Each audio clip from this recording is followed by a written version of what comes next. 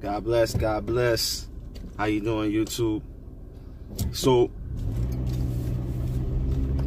I was talking to a friend, and we were talking about student, um, the, the price of tuition. And he was complaining that it's not affordable to go to school anymore. And I agree. I agree that that college tuition is way too expensive. I mean, 30 years ago, you could get a bachelor's degree with like 15 grand. Today, it's gonna cost you anywhere from 40 to, to 80,000 dollars. I know people that are 80,000 dollars in debt um, for a bachelor's degree.